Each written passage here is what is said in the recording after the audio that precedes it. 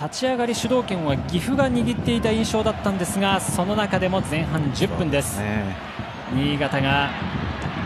このこぼれ球渡辺新がねじ込みまして1点を先制しました。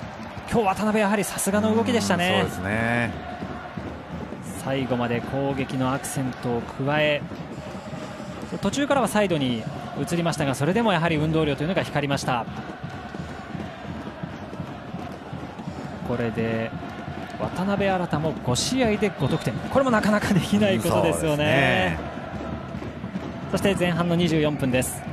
コーナーキックからのヘディングシュート。これはポストに当たって枠の外にそれていきましたが、まあ、やはり新潟が主導権を握りながら初対戦ということで岐阜のことをなかなか新潟の選手がつかみきれなかったという話がありますが、はい、そこに慣れてきてからはやはり新潟ペースが続きましたね。そしてこれが同点のシーンです。このねやはり風間にえー、やはりヘディングさせたというところですよね、はい、まあ、2人ディフェンダーいたわけですからどちらがついてどちらかが、えー、カバーにいればこういう失点はなかったということでしょうね。そこの部分を先ほど鈴木監督が話をしていたと、はい、今のゴールで1対1の同点となりました。そしてこの部分では阿部の不用意なパスミスから決定的なシーン作られましたが、まあ、チーム全員でそれを補っていくというプレーにもなりましたね。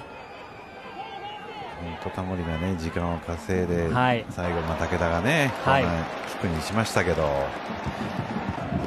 まあ、阿部もねこういうなんですかねミスが多いんでね気をつけてほしいですね。そうですね。はい、まあちょくちょく目にするプレーではあります。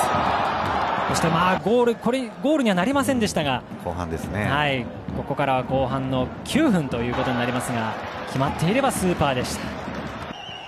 やっぱり後半になると古橋がねこう画面に出てくるのが多くなりましたからね、はい、そうですよね。前半シュートゼロだった古橋がこのゴールで一気に勝ち越しというゴールになりました。後半の17分です。ここも1本ですからね、まあ先ほどの話を聞いているともう狙っていたということでしたよね。やっぱり原がね少しなんですかね、はい、ちょっとえー、サボったというか、はい、うん集中力を変えてましたよね。そこを見逃さなかった古橋です、うん、そしてこの川田が復帰。久しぶりのピッチに送られてからは、まあ、この選手が積極的にゴールを狙うシーンが目立ちました。体も強いですしね、はい、非常にこういい選手ですよね。まあ、鈴木監督がね、あのー、だいぶ怪我人が戻ってきた、はい、って言ってましたけど、はい、いやこの選手たちがみんな